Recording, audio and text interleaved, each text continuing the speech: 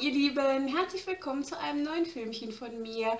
Heute möchte ich mit euch, ähm, ja, wie heißen die? Breadsticks à la Pizza Hut machen. Und zwar sind das Brotsticks, die oben schön mit Knoblauch, Zwiebel und ein paar Gewürzen und so ähm, bestreut sind und Parmesan. Schmecken also richtig schön herzhaft. Gefunden, mal wieder, auf der Seite von Rezepte mit Herz. Äh, Manuela macht ganz oft Urlaub in Amerika und ähm, hat auf ihrem Blog unheimlich viele tolle Rezepte ähm, aus Amerika und mich interessiert dieses Rezept zum einen, weil es natürlich erstmal wieder ein wunderbares Foto ist. Nicht wahr? Äh, das macht ja schon Lust auf mehr, äh, um das auf jeden Fall nachzukochen oder nachzubacken. Und ähm, weil viele äh, an Weihnachten ja sicherlich auch Fondue machen oder Raclette. Wir zum Beispiel machen das immer an Silvester. Und da habe ich gedacht, Mensch, die, die Dinger, die wären doch wirklich richtig toll, um die an Weihnachten bzw. an Silvester äh, bei uns zum Raclette dazu zu machen. Und deshalb wollte ich die auch erstmal ausprobieren. Die kann man richtig schön nehmen, um die zum Beispiel in Soßen reinzustippen oder so. Finde ich richtig mega. Ja, gut. Der Thermomix ist schon vorbereitet. Ähm, bei diesem Rezept ist es so, dass Wasser, Hefe und Zucker nicht erwärmt wird, sondern das wird alles in Thermomix gegeben, einmal kurz verrührt und dann wird es 10 Minuten quellen gelassen. So, jetzt habe ich wieder alles rausgeholt. Nur meine Hefe nicht. Die ist hier. Die wollte ich zuletzt rausholen und habe es nur wieder vergessen. Habt ihr eigentlich schon das neue Thermomix-Lied gehört? Super fix im Thermomix. Als ich die Anfrage dazu gekriegt habe, ob ich da mitmachen möchte in dem Video und habe dann das Lied gehört, das hat mich so von den Socken gehauen. Ich finde das so klasse. Ich mag solche Musik eh so. Ne, also die so richtig gute Laune, Stimmung macht, so Schlager und so, finde ich voll cool. Und ich finde das Lied ist einfach wirklich richtig super gelungen. Und zum anderen ähm, man darf es halt nicht zu ernst nehmen, nicht wahr? Also da ist schon viele Jokes mit bei und äh, wenn man das mit so einem lachenden Auge sieht, ich glaube, dann ähm, hat man da auch äh, einen ganz anderen Draht zu. Ne? Gut. Ich blende euch das mal ein und verlinke euch das auch in der Infobox und könnt ihr euch das hier auf YouTube mal angucken. Ich koche super fix in meinem Thermomix. Oh Mann, jetzt ist es wirklich passiert. Ich muss mich ablenken, sonst kriege ich den Teil wieder nicht aus dem Schädel. Gut, Wasser. 275 Gramm Wasser haben wir hier. Dann ähm, 15 Gramm Zucker und Hefe. Dadurch, dass das jetzt quellen gelassen wird, brösel ich die mal klein. Das mache ich nämlich sonst nicht. Mache ich mal rein. So, und was schreibt Manu jetzt? Das wird kurz verrührt. Wie macht sie das? Stufe 3. Gut, Stufe 3. Einmal 5 Sekunden verrühren lassen. Jetzt lasse ich es 10 Minuten quellen. Dann kommen die anderen Zutaten dazu. Und äh, ja, dann geht es weiter. Die 10 Minuten Quellzeit äh, sind jetzt rum. Jetzt kommen alle übrigen Zutaten dazu, wie zum Beispiel 450 Gramm Mehl, 405er oder ähm, 550er. Das gebe ich jetzt erstmal rein. So. Dann steht im Rezept drin 25 Gramm Maismehl. Habe ich, mangels habe ich nicht, habe ich es nicht. Ähm, aber ich ähm, gucke immer, ob ich irgendwie eine Alternative finde. Und ähm, ich habe ja auch schon ganz oft Pizzateig zum Beispiel, der dann richtig schön kross wird oder so ganz besonders ähm, knusprig, äh, wenn Grieß mit drin ist, Hartweizengrieß. Ich ersetze jetzt einfach die 25 Gramm Maismehl durch 25 Gramm Hartweizengrieß Entspricht zwar nicht ganz so dem Rezept, aber ich hoffe, dass das vom Ergebnis her auch ganz annehmbar wird. Gut, jetzt habe ich hier noch ein Schälchen stehen mit Salz. Das sind 10 Gramm Salz. Und so wie es hier aussieht, müsste das eigentlich alles sein. Wie lange lässt es kneten? Vier Minuten. Das ist gut. Schön lange kneten ist immer gut. Knetvorgang ist beendet. Und das scheint ein richtig toller Teig zu sein, der überhaupt nicht klebrig ist. Dann werde ich mal den Pott jetzt mal auf den Kopf drehen.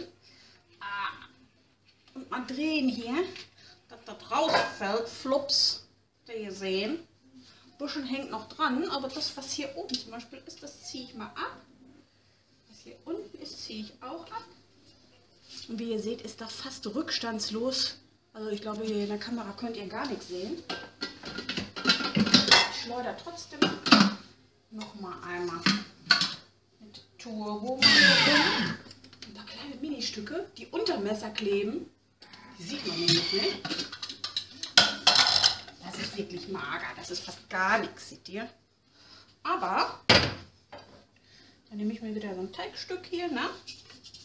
Wenn der nämlich nicht klebt, dann kann man den dazu verwenden, das hier schön abzuputzen sozusagen. Dann bleiben nämlich die abgeschleuderten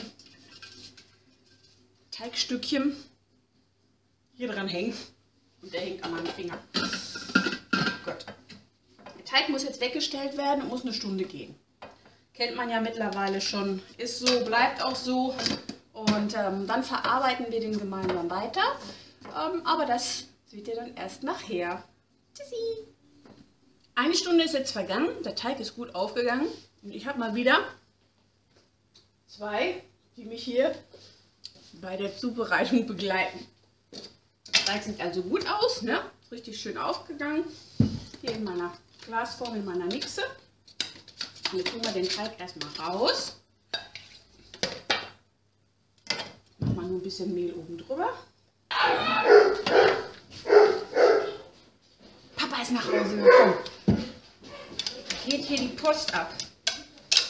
Kriegst einen halben Gehörsturz hier, ehrlich. So. Teig machen wir raus. Jetzt steht im Rezept, den Teig soll man ausrollen. Gut, machen wir. Was stand da jetzt nochmal? Rechteckig oder was? 15 cm? Also, circa 15 cm lange, 2 cm breit. Okay, dann fange ich mal eben an. Ich habe es jetzt ausgerollt. Bei mir ist es aber ein bisschen größer. Hier ist es 24 mal 39 mal 38, 39 so ungefähr. Das macht aber nichts. Dann sind die halt ein bisschen platter. Gut, im Rezept steht jetzt drin, für das Topping. Mh, werden, werden, die, ähm,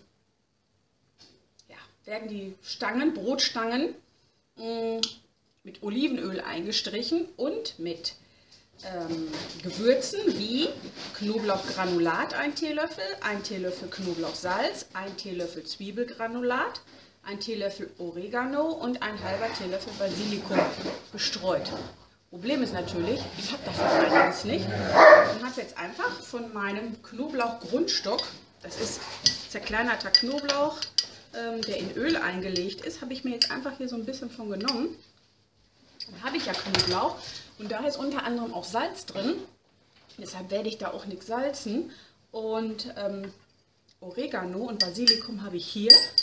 Und 20 Gramm frischen Parmesan, der auch im Thermomix gerieben ist, den habe ich hier. Dann wird das auch mitgestreut. Das heißt, wir müssen jetzt erstmal hier diese Streifen schneiden. So, jetzt leicht gesagt. Ja, auf der Unterlage dürft ihr natürlich nicht mit dem Messer oder so schneiden. Deshalb habe ich hier mein Easy Messer, das es leider nicht mehr gibt.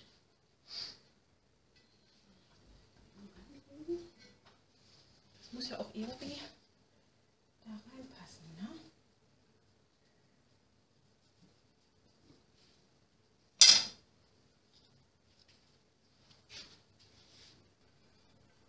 Ich habe das jetzt weit. Ich zeige euch das unter eine Nase. Hm, das sind jetzt acht Stück. Ich habe zwar da vorne noch ein paar, aber das wird zu wenig sein, um Stein zu füllen. Da muss man wirklich die, das aus, den ausgerollten Teig dementsprechend anpassen. Wenn man jetzt hier zum Beispiel acht Stück drauf kriegt, macht die 3 cm breit, dass das wirklich 24 mal 15 ungefähr groß ist. So, jetzt habe ich hier das Öl mit dem Knofi drin. Streiche ich jetzt hier auf die Stangen.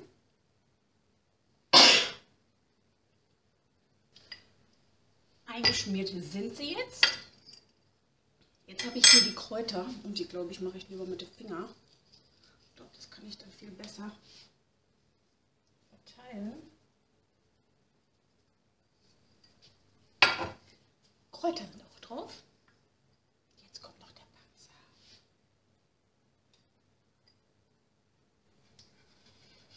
So.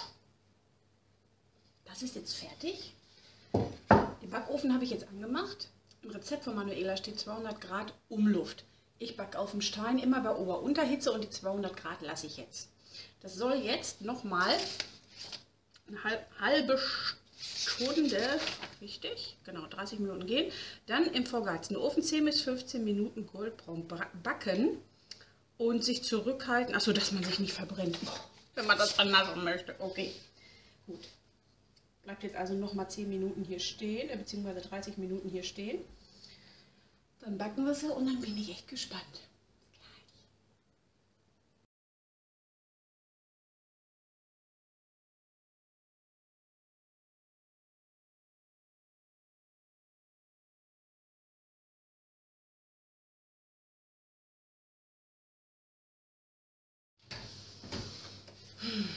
Duftet hier.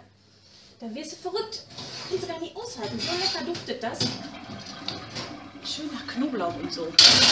Schaut mal.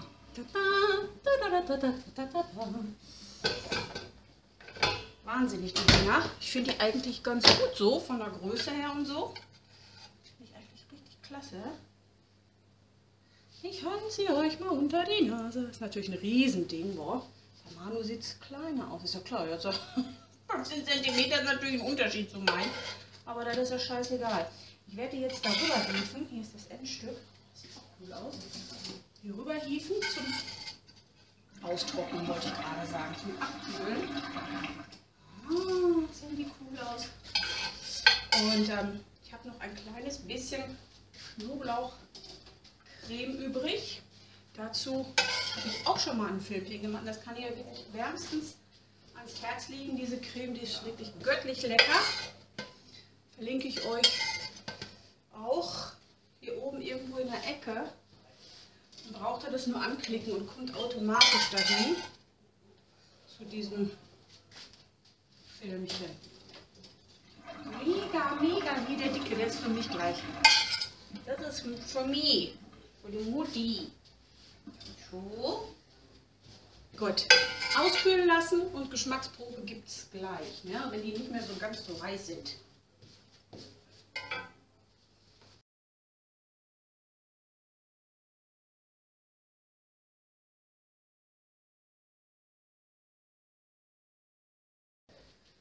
Leute, die Dinger schmecken so mega. So mega lecker. Ich habe gerade schon abgebissen. Hier, ich konnte es nicht lassen. Guckt mal. Die sind voll Hammer. Total würzig hier oben. Bin fertig. Ich bin jetzt zu viel. Total geil. Und jetzt habe ich hier noch eine Knoblauchcreme was übrig. Die tot. Boah.